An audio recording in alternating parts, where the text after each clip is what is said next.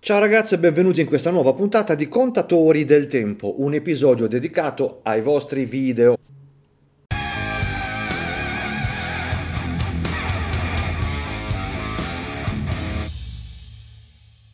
Ed eccoci qua ancora una volta, no? Con questa bellissima rubrica che tanto amate, che tanto amiamo e che mi dà anche lo spunto per capire i vostri orologi e la vostra personalità, quale diciamo percorso intendete intraprendere in questo simpatico hobby che è collezionare orologi, perché poi alla fine si tratta di accumulare lì orologi, tenerli lì, non indossarli, eh, arrivare a 30, a 40, cosa ce ne frega, l'importante è possederli, questo è il ragionamento, no?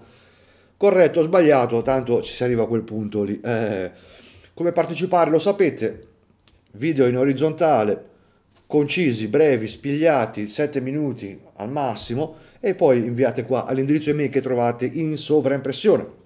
L'orologio di oggi è questo bellissimo Omega Seamaster Professional 42 mm, calibro 8800 in house, orologio diver a tutti gli effetti, i suoi bei 300 metri, la sua bella ghiera girevole, la sua bella valvolina per l'elio che è sempre utile, no? E eh, vabbè, c'è, però c'è, eh, ci fa piacere, sono quelle feature che non servono a una beata, e eh, però che noi vogliamo perché ci danno, no? Quel non plus ultra. Va bene, dai, passiamo ai video. Primo video, vai. Buonasera Davide, sono Sera. Saverio, eh, Saverio. frequento il tuo gruppo Telegram da ormai Ah, 4 anni. amico Saverio. Mi conosci bene, credo Ma che sì. mi conoscono anche gli amici a casa. Bravo, Oggi Saverio. volevo presentarvi qualche orologio della mia mm, collezione, per Bravo. non divulgarne troppo, ne ho scelti alcuni. Partiamo Vai. da questo Cartier Tank Vermeil, cassa in argento, quadrante numeri romani blu, tutto in argento con eh, fibbietta originale, cinturino ovviamente abbinato. Abbinato, Passiamo bravo. poi a questo Breitling, Eh, qua è un Breitling Callisto, simpatico. credo metà anni 90, quadrante bianco, eh, acciaio oro, anche lui con eh, fibbietta originale, calibro carica manuale. Eh, questo qua mi è stato regalato per i miei 15 anni, Eh, ha una storia divertente dietro. Poi abbiamo una coppia, non solo uno, che presento prima lui, che è stato il Vai. primo che ho trovato cercando a casa dei miei nonni. In un cassetto trovo lui, Eh, orologio per me be- bellissimo, Eh con um, delle bellissime linee, cassa placcata. E l'unico problema è che ha un guasto, credo, alla ruota centrale che non ho Eh. mai eh, sistemato perché non lo usavo mai, quindi non ne ho mai sentito il bisogno. Continuando le ricerche a casa dei miei nonni, trovo lui. Uh, No, un orologio Uguale. completamente identico, tranne per la corona. Que- questa corona qui è quella originale, ma è, è partito eh, il simbolo Omega. Ah. Eh, sono due orologi completamente identici, ovviamente tranne per la corona, entrambi placcati. Eh, due bellissimi orologi, molto divertente il fatto che ne ho trovati due. Eh, Suppongo che il mio bisnonno, perché sono eh, del mio bisnonno, per non far ri- riparare questo qua, ne ha comprato direttamente un altro e ha fatto la sì. cosa migliore. Poi ha fatto bene, anch'io quando, cioè, quando mi si scarica il cellulare, non sto mica a ricaricarlo, ne compro un altro, capito? Cioè, funziona così, noi, noi, noi VIP facciamo così. Mamma mia, allora, eh, c'è da dire che per ora abbiamo visto tutti vintage in oro, di famiglia, eh, perché insomma vuol dire che c'hai anche una certa famiglia alle spalle che aveva degli orologi in oro che a quel tempo mm, non erano da tutti. Poi nel cassetto ne trovi uno e poi c'è quell'altro uguale identico perché non c'aveva voglia di ripararlo, giustamente. Bravo, bravo Saverio, bravo Saverio. Ora puoi tornare anche ne- nella capanna, come si suol dire. Poi abbiamo questo Buren Rival che è uno skin diver eh, automatico età 2774 se non sbaglio, ovviamente funzionante. Abbiamo un po' di carica, dovrebbe partire. Ecco Vediamo. qui. A 200 metri, cassa MRP, ghiera alluminio, indici ovviamente al trizio, belli virati che eh, sembrano un sorbetto al mango. Questo è Eh, interessante. ci ho montato su un nato. In realtà ho un bracciale chicchi di riso per lui, ma non si adatta bene e mi dà molto fastidio. Eh. Eh, il, f- il fondello mi è stato detto che è stato serigrafato, ma io sinceramente ho i miei dubbi. Credo che Buren abbia mm, comprato la cassa e poi dopo l'abbia serigrafato in seguito. Poi abbiamo l'orologio di mio nonno, questo oh. splendido Longines eh, 30L, cassa beh. in oro, quadrante bianco. Oro. Quindi questo è l'orologio di mio nonno che ho trovato uh, a casa di mia nonna. È un orologio, credo cassa nazionale perché non ne ho mai visti con la cassa in oro, però io lo trovo bellissimo, veramente. Eh, uh, ca- non lo so, cioè per vedere se la cassa è nazionale devi aprire il fondello e vedere se all'interno c'è la scritta Longines con tutti i cosini dei carati, no? Io ho un Longines da 32 mm in oro, tutto in oro, con cassa nazionale, cioè all'interno non c'è il simbolo Longines, perché? Spieghiamo per gli amici che non lo sanno, e funzionava così in, per un certo periodo, l'importazione dell'oro in Italia prevedeva dei dazi aggiuntivi che andavano poi a gravare su un orologio, sul prezzo dell'orologio che diventava eh, insostenibile alla vendita al dettaglio. Quindi Longines cosa faceva? Faceva costruire le casse all'importatore Binda, gli spediva tutto il resto del materiale che poi assemblavano in Italia. Funzionava così, era una cosa normale, quindi non è che un orologio Longines che ha cassa nazionale non è originale, è originale, è originale perché la, la procedura a quel tempo era così bello, elegante, 34 mm, 34. tutto in oro, la corona compresa. Carica manuale ovviamente 30L e l'ho recuperato con la spirale di completamente storta. Infatti, il mio orologiaio eh, con tanta pazienza l'ha raddrizzata con le pinzette.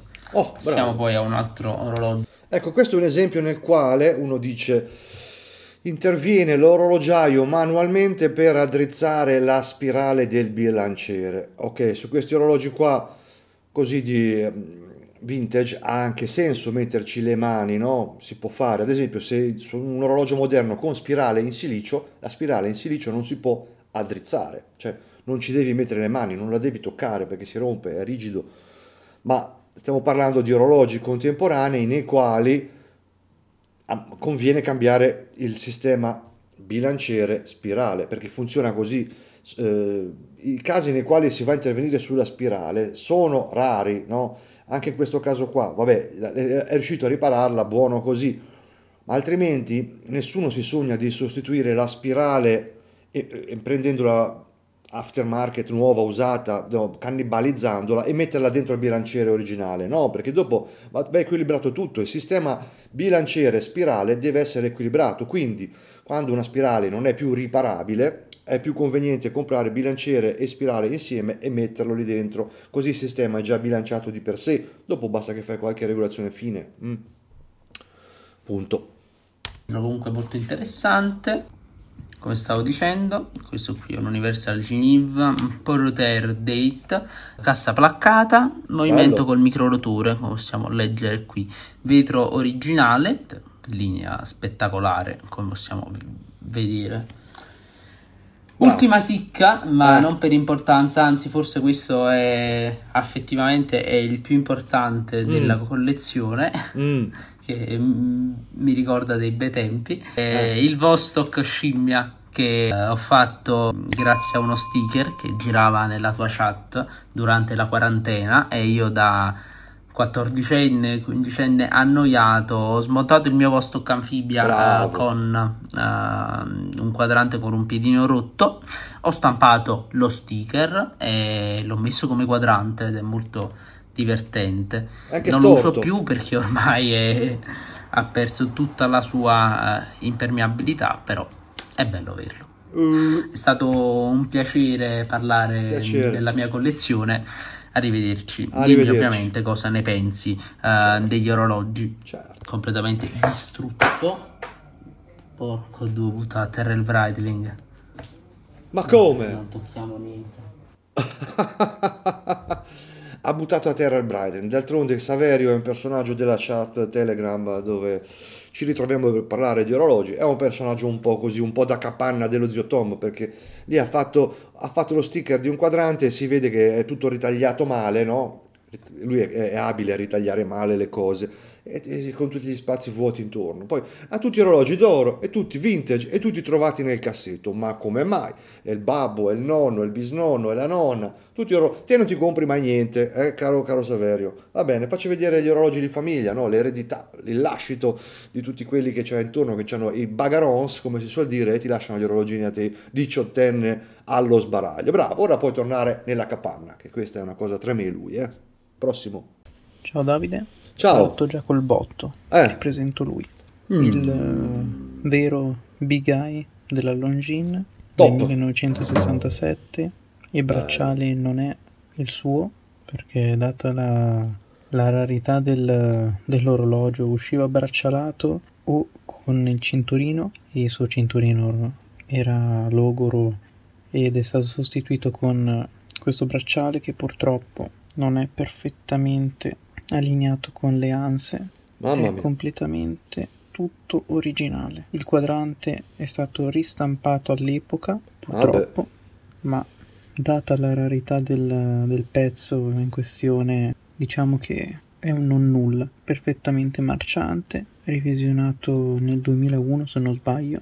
Dopo apro il fondello e te lo farò vedere anche dentro, che monta il CH30, perfettamente funzionante. Parte cronografica, corona allungata, ghiera perfettamente leggibile, non da sottovalutare dato che se ne trovano tante in vendita con le ghiere completamente a brase. Unico, unica pecca, il Sì, dot. il che, dot. Essendo del 67 non si può avere tutto perfetto.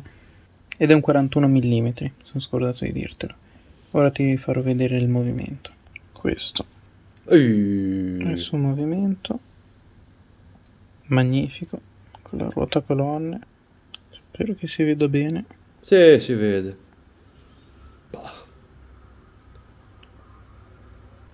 te lo faccio vedere anche al polso io ho Bello. un polso da 16 e comunque un 41 mm direi che non è per niente sproporzionato è veramente splendido è una referenza che è introvabile spero che piaccia a tutti un saluto grazie saluto. ancora e spero che lo pubblicherai Va bene, lo pubblichiamo perché è un, un simpatico esempio di orologio vintage di quelli che piacciono alla maggior parte di noi appassionati. eh.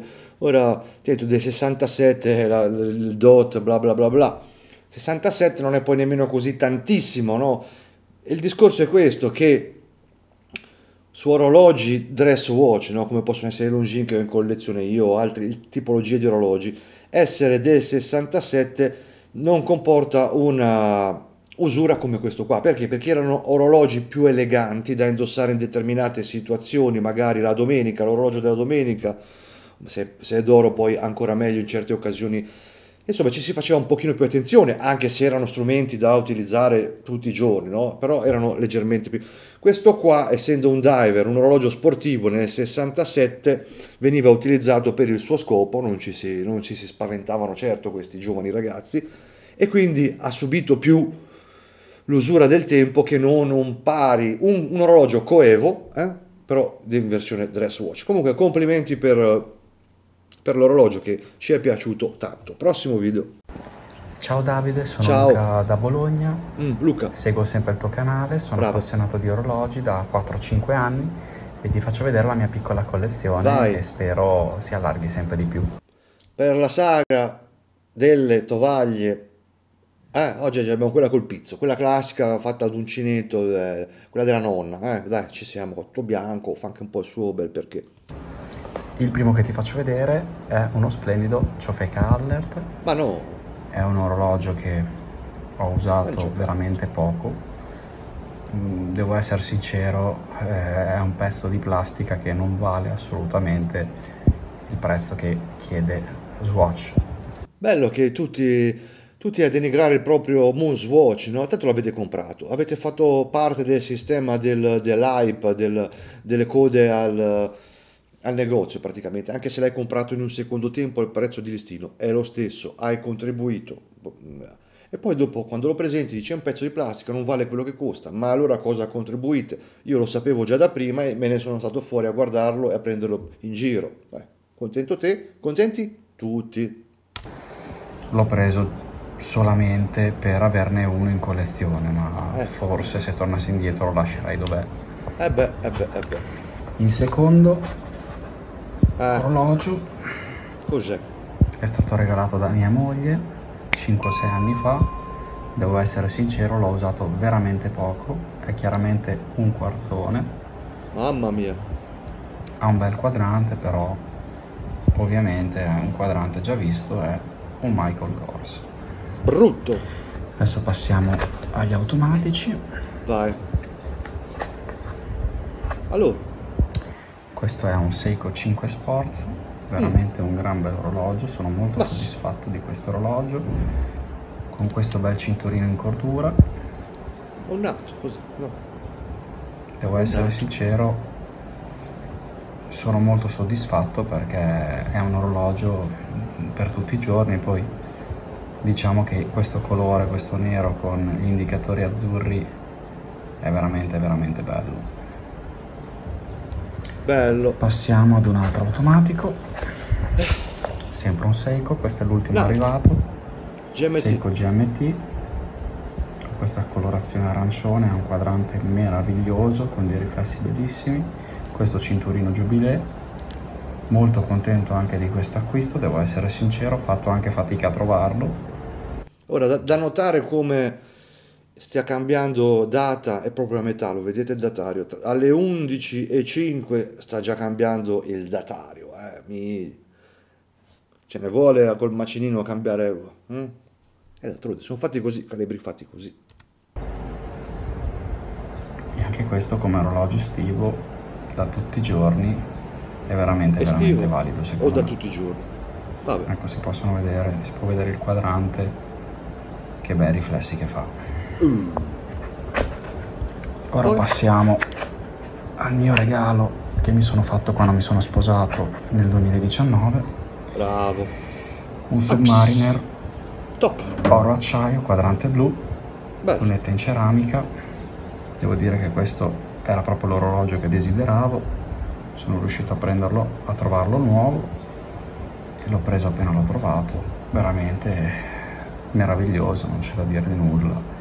So che tu non sei un patito dell'oro acciaio, però questo veramente... No, io sono patito dell'oro acciaio, mi piace l'oro acciaio, ma giustamente infatti adesso stavo pensando come il bracciale Oyster oro acciaio mi piaccia un po' meno, eh? lucido così. Per esempio il Globe Master, l'Omega Globe Master in acciaio e oro, che, è quell'oro opaco, eh, quello lì mi piace un casino ad esempio. Eh. Cioè, c'era nessuno, non l'ho mai visto non ho mai visto in giro nei negozi, c'è nessuno. Quindi se un giorno mai volessi fare un colpo di testa devo prendere la scatola chiusa o andare dove c'erano disponibile. Bah. Però mi piacciono le acciaio oro, anzi, molto. Però magari un Submariner no. Poi specie l'Oyster, bracciale Oyster lucido in acciaio oro non, non mi convince al 100%. Poi lo dico ora, poi magari fra 5 anni mi vedi con tutti i Submariner o l'acciaio, che sono gli orologi migliori del mondo, eh, si sa mai, però... Un quadrante che è meraviglioso. Passiamo al secondo pezzo. Vai. Diciamo più importante. E cos'è? Rolex Milgauss, questo l'ho acquistato nel 2021, sempre nuovo.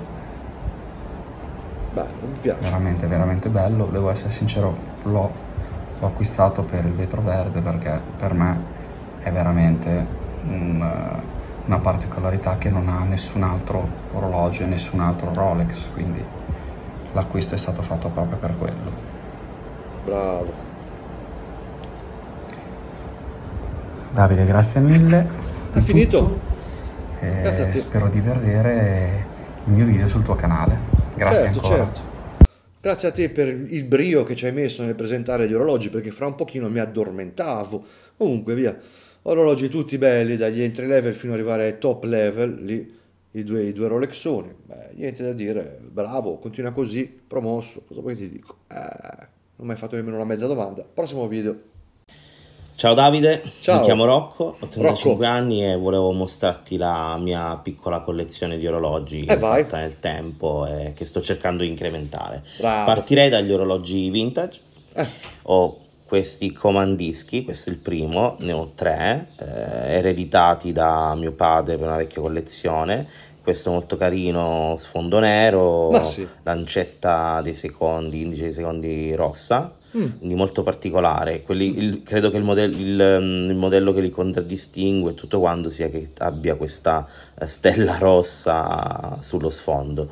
Un orologio molto semplice, eh, questa ghiera rossa, rossa e nera, è ovviamente un orologio mm, a carica manuale eh, con compli- complicazione data. Eh, orologi molto semplici, devo dire, Eh, ma credo che siano anche indistruttibili. Eh, poi questo è il secondo, questo Ah. qui ha uno sfondo un po' più particolare, questo, questo verde, sempre eh, molto simile, molto simile all'altro, sempre con la complicazione data. Eh, lunetta abbastanza semplice da eh, estrarre. Eh, devo dire è un orologio Corona. sempre vintage che a volte è indosso. A volte, eh, Un altro orologio vintage sempre a sta serie è questo, questo credo sia un po' più particolare. Eh, Ha quella ghiera placcata in oro, anzi non credo neanche sia placcata in oro, a dire vero credo sia dorata, però eh, un orologio ecco, non molto prezioso che a volte, a volte indosso. bravo, Un- altri, gli ultimi due orologi vintage sempre questo Poljot, Paliot. eh, questo qui non è d'oro ma è placcato d'oro. Eh, non so molto di questo orologio. eh, credo che sia stato fatto per un'edizione del 1992, non so se le Olimpiadi mi pare. E eh, porta come numero inciso sulla cassa questo seriale. Credo che sia eh, il numero di pezzi che, che fecero per questo, questo orologio. Ma io non so come per le Olimpiadi, nel 92 le Olimpiadi, c'è la bandiera russa, la bandiera italiana, sarà per, un qualche, per una qualche occasione di collaborazione, gemellaggio, vuoi che vuoi, ne ho già sentiti diversi di questi tipi qua. Le Olimpiadi con la bandiera, vabbè, uh, se lo dici te. Un altro, l'ultimo orologio vintage è questo Zenith, Mm, anche questo faceva parte della collezione di mio padre, eh, va un po' revisionato, eh, Zenith a carica manuale, ehm, molto molto sottile, credo che siano i, i tank che, facess- che fecero una volta negli anni 60-70 credo, molto molto simpatico. Simpatico. Poi il primo orologio eh, che ho comprato quando ho cominciato anche a lavorare, quindi mettendo da parte qualche soldo, è stato questo Tissot eh, al quarzo. Eh, so che a te non ti piacciono molto ehm, i numeri romani sul quadrante, ma eh, è un orologio molto elegante, sottile, da mettere sotto la camicia, quindi lo acquistai così perché quando andavo al lavoro comunque era un orologio che eh, dava un tocco un po' classico Classico. quindi l'ho acquistato per questo. Bravo. Ehm, un altro orologio al quarzo, Ancora. acquistato con un bonus aziendale, è stato questo Citizen Eco Drive. Mi piaceva mm, il fatto che avesse eh, lo, lo sfondo in, questa- in questo tipo, eh, sembra un orologio al quarzo, è un cronografo non molto un po', un- un po' grande devo dire, credo che sia come misura un 40 mm.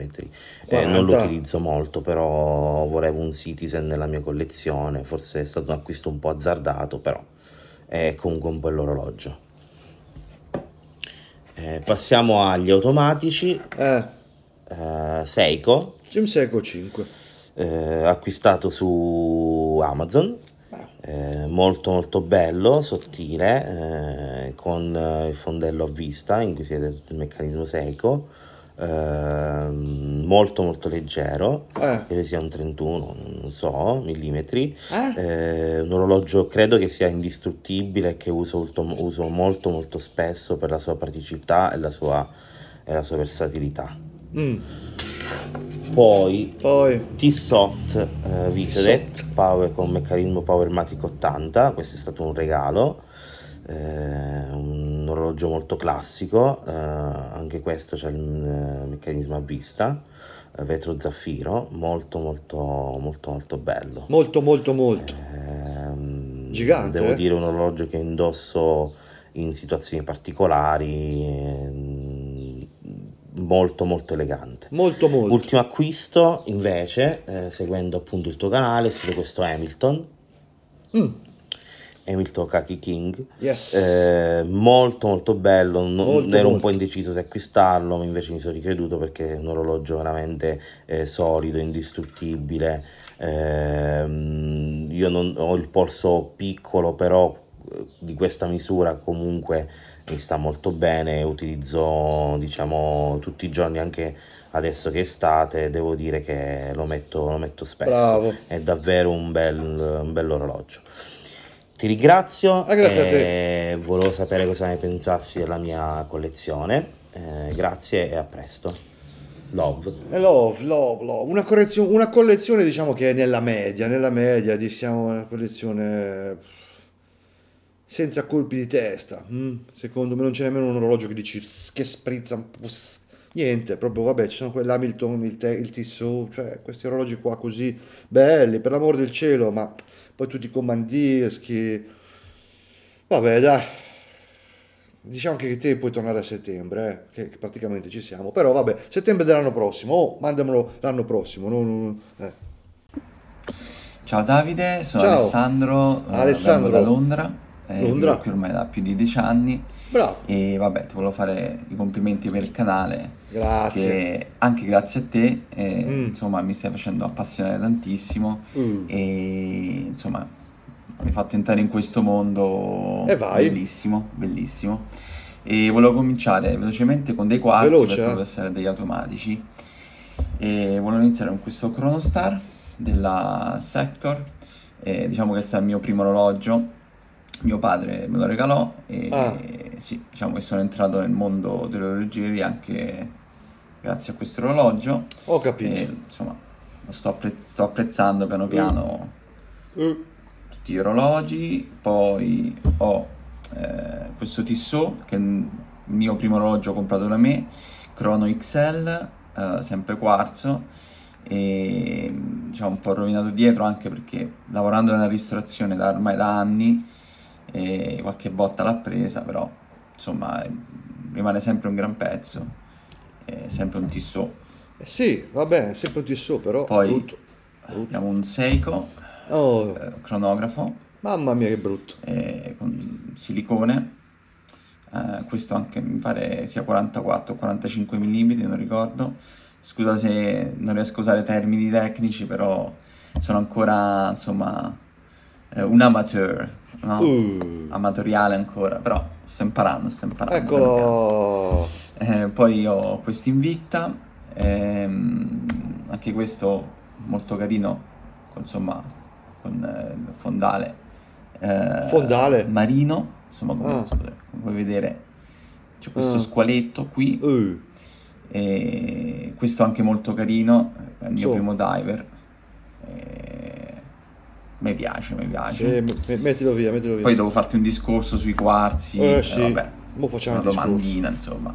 Boh. Poi ho il Timex Expedition, Ah, ce l'ho eh, anch'io. ehm, Indiglo, Yes. e anche questo, vabbè, il classico Field Watch, però il Timex anche tanta roba, con la lancetta dei secondi in giallo, Sì, molto carino insomma. ce l'ho anch'io uguale identico. Ce n'ho due, tre. Poi boh.